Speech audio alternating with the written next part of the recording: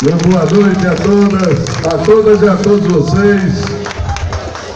Quero dizer da minha tranquilidade hoje de chegar aqui no momento de campanha, no momento onde os candidatos estão correndo muito, alguns tranquilos e outros desesperados. Desesperados são aqueles que passaram quatro anos de braços cruzados ou fazendo outra coisa da vida a não ser trabalhar pelo povo e trabalhar por seu mandato. Mas aqueles, aqueles que passaram os quatro anos trabalhando, dedicado, suando a camisa, junto com o povo, junto com suas bases, visitando, trazendo obras para os seus municípios e as suas comunidades, esses políticos estão simplesmente cumprindo uma agenda, visitando. E nós temos vários políticos que estão assim. E acredito que aqui em Cumaru eu me sinta desta forma. Me sinto, minha gente, porque me sinto com aquela história do dever cumprido. Eu tenho certeza que nós fizemos a nossa parte. Tenho certeza que fiz o máximo do que poderia fazer. Me dediquei durante esses quatro anos de mandato tudo que podia fazer e construir, trazer para o município de Cumaru. Eu tenho certeza que fiz. O meu melhor, dei o meu melhor. Se não conseguir mais, foi circunstâncias do trabalho, mas a vontade de trazer, a dedicação foi muito grande. E aqui, diante de tudo aquilo que já foi falado aqui no palanque, diante de tudo que Mariana acabou de dizer, só nos resta complementar algumas coisas que nós conseguimos e que fazer. Cumprimento a todos que estão no palanque, porque se for citar o nome de cada um, termina o nosso tempo e estamos já chegando ao final deste momento, porque a legislação eleitoral tem sua hora para terminar. Mas cumprimentar todos aqui que estiveram, todas as lideranças, os vereadores, ex-vereadores, ex-prefeito, a prefeita, as lideranças políticas daqui, a vocês principalmente que estão aqui, agradecer a oportunidade que vocês estão me dando de transmitir a minha palavra, o meu entendimento e as minhas ideias a vocês. Minha gratidão por trazerem uma reunião linda e maravilhosa como esta, juntando tanta gente vindo de boa vontade e vindo nos prestigiar através dos trabalhos que nós fizemos com a sua presença. Muito obrigado a cada um e a cada uma de vocês. Mais amigos, aqui nós já estivemos nesta localidade deste distrito logo no primeiro mês do mandato dessa gestão. E aqui tivemos acompanhado de alguns amigos daqui da localidade que foram candidatos e outros que nos apoiam, que estão aqui, para não citar o nome de um ou de outro, mas aqui no mês de janeiro, no primeiro mês de mandato dessa gestão, nós estávamos acompanhando as máquinas limpando o açude acolá. O outro açude mais aqui atrás, os açudes públicos preparando para quando Deus do céu manda chuva, armazenar água para que a população e os animais não sofram tanto como a gente já vem sofrendo durante esses sete anos.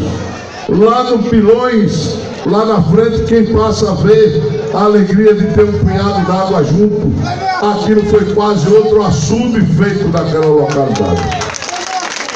Aqui nós tivemos olhando essa praça e hoje temos o prazer de já ver uma placa dizendo que vai ser construída uma praça aqui neste local.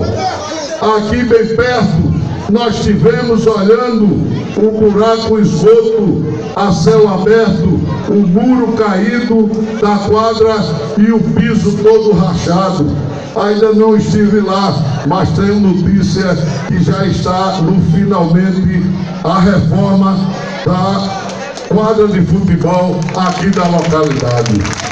Aqui, no passado, tive a oportunidade de tantas vezes vir olhar as máquinas limpando tantos e tantos barreiros privados das propriedades aqui, através de emendas que nós conseguimos para desenvolver esse trabalho aqui de construção, fazendo barreiro ou limpando e ampliando barreiro. Então a gente hoje chega aqui para contar nossa história. Nós podemos mudar o que possa acontecer daqui para frente, mas o para trás a gente não tem como mudar. E essa é a nossa história. Agora acredito que cada candidato a deputado estadual tenha que vir aqui e quando vier aqui, ele venha contar sua história também. Venha dizer o que fez por esse distrito. Venha dizer o que fez por esta cidade. Este é o momento que você tem que passar limpo a história e suas atuações. Tem que mostrar à população o que foi feito, analisar junto à população o que foi feito e o que foi que você trouxe para o seu para o município. E aí a população vai pensar e julgar e decidir e votar naquele que acha que seja cabível o seu voto e merecedor do seu voto. Nós estamos numa correria, numa dança, não é a correria, numa dança. Hoje tivesse, tivemos o prazer de participar de uma caminhada enorme, parecia mais o galo da madrugada no Recife, acompanhado com o governador Paulo Câmara e que um candidato Haddad, o nosso candidato de Lula, que é o nosso eterno presidente.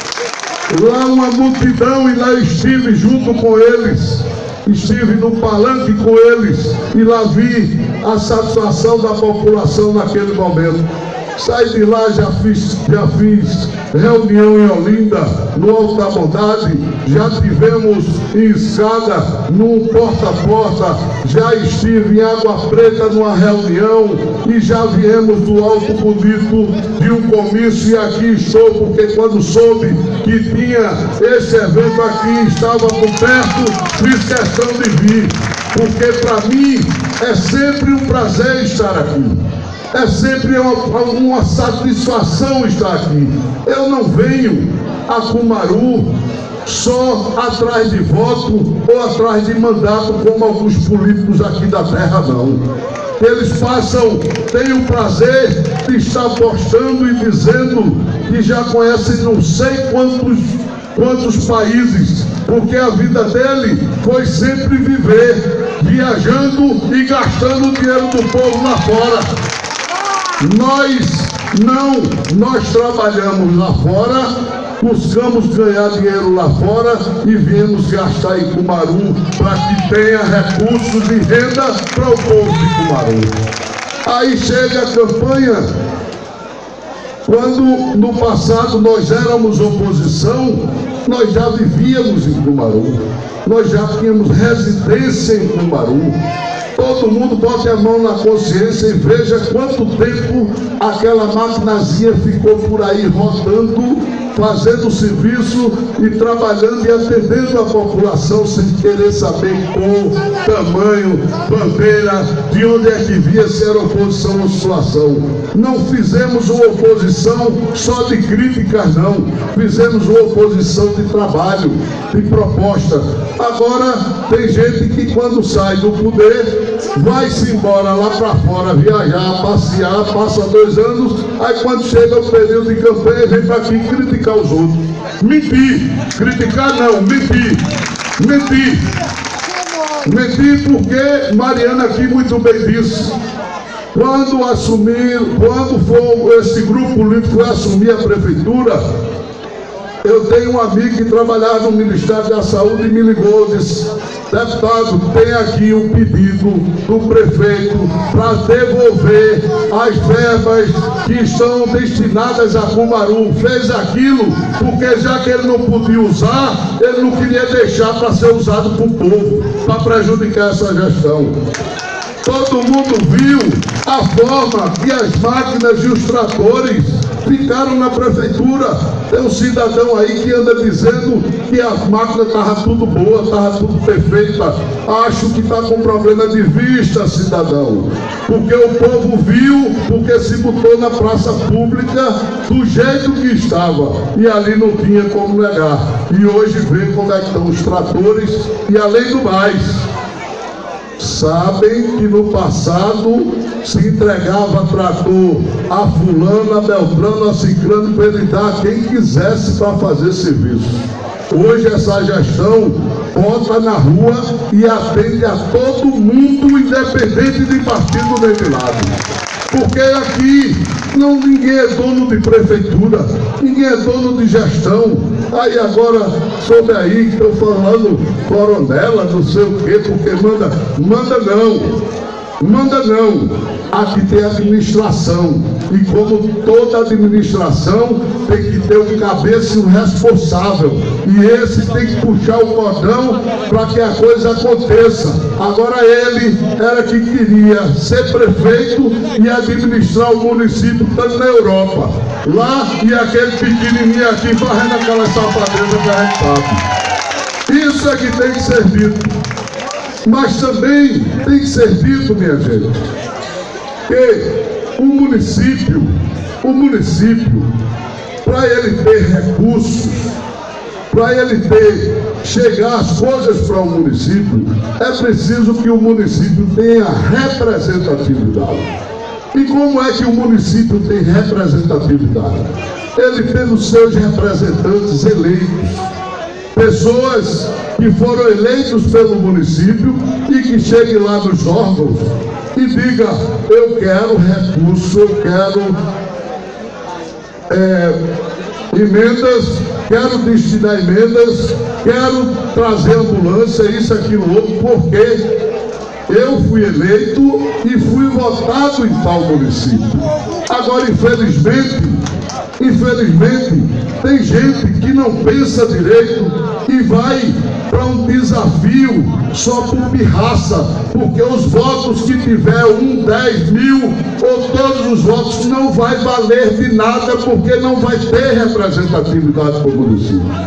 E além do mais, ainda sai por aí dizendo uma forma de ter voto é criticando, dizendo que não teve prestígio, que não foi dando uma de vítima. Vítima não.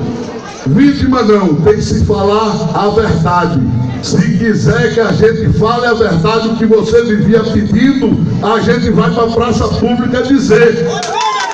Nós não queremos fazer política desta forma. Agora também não venha com mentiras dando de vítima, porque prefeitura nenhuma segura mulher de ninguém. Quem quiser dar luxúria, sua mulher vai suar, vai viver sua vida. É isso que tem que ser dito. Nós estamos aqui da mesma forma que nós chegamos, com simplicidade, com humildade, respeitando todo mundo. Este grupo político aqui é o grupo que apresentou propostas e tem a obrigação de cumpri-las. E estamos fazendo o máximo possível para cumpri-las.